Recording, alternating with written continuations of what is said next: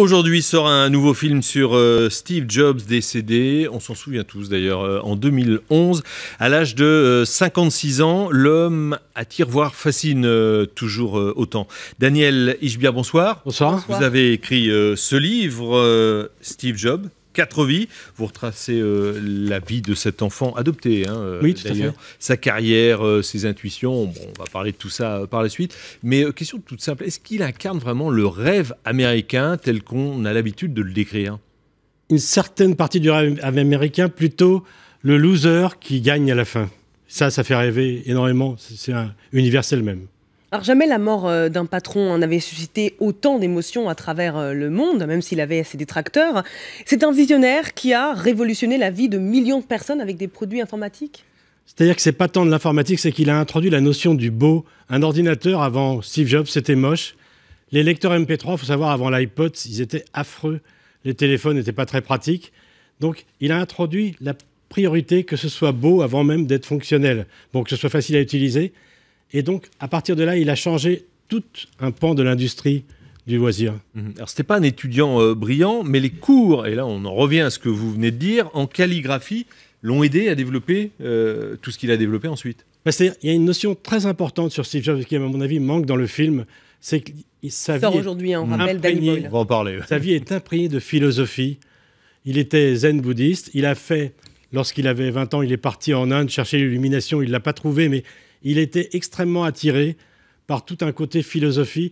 Lorsqu'il a eu un cancer, il s'est soigné avec une méthode naturelle qui, hélas, pour lui, n'a pas réussi, mais qui, malgré tout, a de bons succès aux États-Unis. Il avait une approche très particulière. Chez lui, il habitait comme un. C'était presque. Comment dire Il y avait très peu de meubles.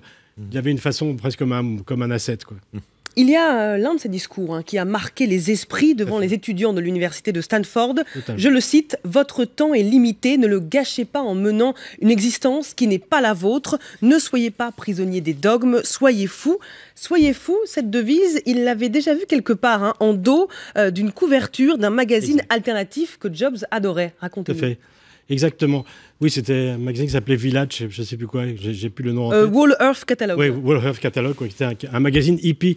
Steve Jobs est né en Californie dans les années 60. Il a totalement été impressionné, imprégné par le courant hippie. Il l'a vraiment totalement. Il était fait pour être hippie, si je peux dire.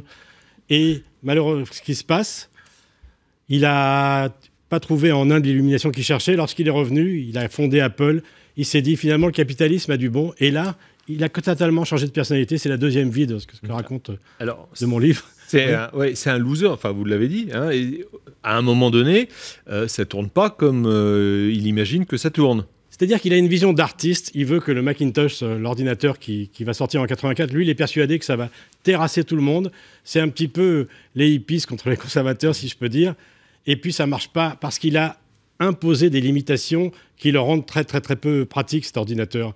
Il est beau pour le mettre sur, sur une table, mais on peut faire un peu de courrier, on ne peut pas faire grand-chose avec, les entreprises n'en veulent pas. Il est en train de couler Apple et Apple décide de l'écarter. Il n'a pas été viré, encore une erreur qui est dans le film, il n'a pas été viré d'Apple, il a été écarté du management, c'est lui-même qui est parti, considérant qu'il avait été mis sur une voie de garage. Et lui, être loser, c'est pas très, pas très important, parce que dans sa philosophie, il vaut mieux perdre que de ne rien faire. Et c'est très américain aussi. Enfin, c'est très Silicon mmh. Valley, du moins. Mmh. Vaut mieux essayer quelque chose.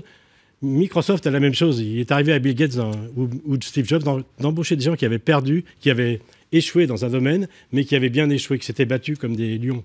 Il y a la, face plus sombre hein, de Steve Jobs, euh, qui est un homme d'affaires, autoritaire, tyrannique, disons euh, certains, euh, qui aime tout contrôler, vous dites intervenant sur les moindres détails de sa Joconde à lui. Exact. C'est vrai que Bon, c'est ce qui fait. Il a ce côté un peu des Picasso, des Bob Dylan, de certains grands artistes qui sont totalement intransigeants. Lorsqu'il va avoir 40 ans, qu'il revient chez Apple en 96 après avoir été plus ou moins éjecté en 85, là, il a mis un peu d'eau dans son vin. Il aura toujours ce génie, mais il a, il a appris à composer avec les autres. En 84, il est intraitable. Mmh. On retient euh, bon, ses inventions, mais aussi son sens de la communication pour lui-même, mais aussi à chaque fois qu'il présente un nouveau produit, il sait faire désirer euh, ses produits. Et toujours maintenant, d'ailleurs, il est plus là, mais enfin, quand on voit ce qui se passe devant les boutiques, au moment de la sortie d'un nouveau produit, on se dit, il a, ça, ça, continue de fonctionner. C'est-à-dire qu'Apple, à travers Steve Jobs, a un petit peu vendu un mode de vie. J'utilise Apple, je suis quelqu'un de différent. D'ailleurs, il y avait la campagne mmh. Penser différemment avec Einstein, Lennon, etc. Donc, il a pensé très au-delà du produit, il a vraiment pensé comme un artiste. Alors vous l'avez dit, hein, il y a un film qui est sorti euh, aujourd'hui de Danny Boyle euh, qui divise euh, sa vie en, trois actes. On va regarder un extrait hein, qui montre un Steve Jobs qui peut parfois être dur, notamment le jour où il apprend qu'il a une fille et il refuse de la reconnaître. Regardez. Jobs insists, I'm quoting, 28% of the male population of the United States could be the father.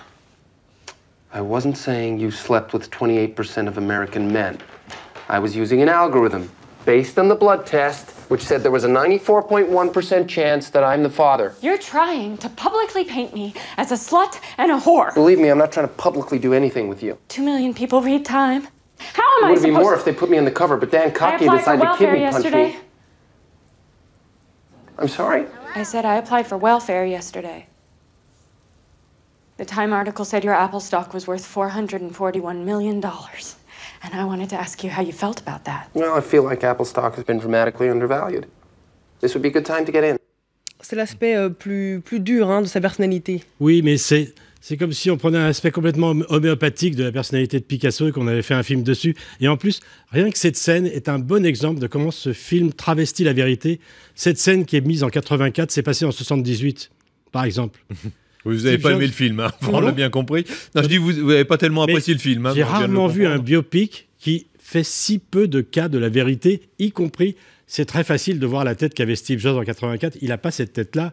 Il n'était pas coiffé en arrière, il était coiffé vers l'avant. Il avait les cheveux beaucoup plus foncés. Mais dans le fond, qu'est-ce que vous lui reprochez à ce film? Je lui reproche de, tricher avec la vérité, mais à un point extrême. Mmh. Mais ah, surtout avec les dates. Les dates et le look qu'avait Steve Jobs à un moment donné, qui est totalement. Enfin, il a tout essayé de concentrer en trois scènes, ce qui fait qu'il fait. Une sorte il dit c'est pas biopic.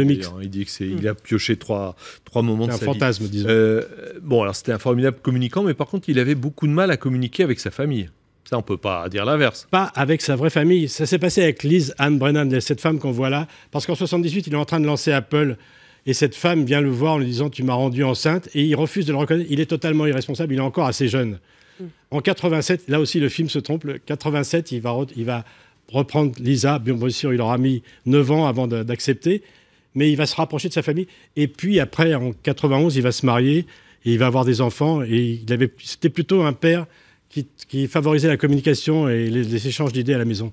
Aujourd'hui, euh, Apple, hein, pèse 600 milliards d'euros, l'entreprise la plus chère au monde.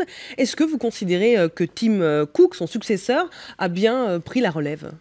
Il a plutôt bien géré la passation de pouvoir, mais c'est le futur qui fait un peu peur parce que les gens qui prennent des produits Apple avaient l'habitude, jusqu'au temps de l'iPhone, d'avoir un produit dix fois meilleur que la concurrence, et c'est plus le cas aujourd'hui.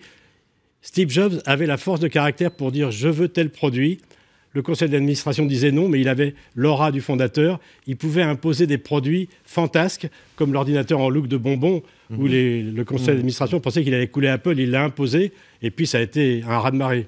C'était un hippie, vous nous le disiez, mais qui s'est très bien fondu dans le capitalisme. mais est-ce que c'est pas un chemin normal? Parce qu'en France, on a eu euh, les enfants de mai 68 qui sont devenus des capitaines de presse ou d'industrie. Oui, c'est vrai, non, c'était très très correct. Bon, bah, on va rester là alors. Merci, Daniel Ijbia d'être venu nous voir. On va rappeler le titre de votre livre, Steve Jobs, Quatre vies. C'est chez Delpierre. Merci, Merci. beaucoup d'être venu nous voir. Merci.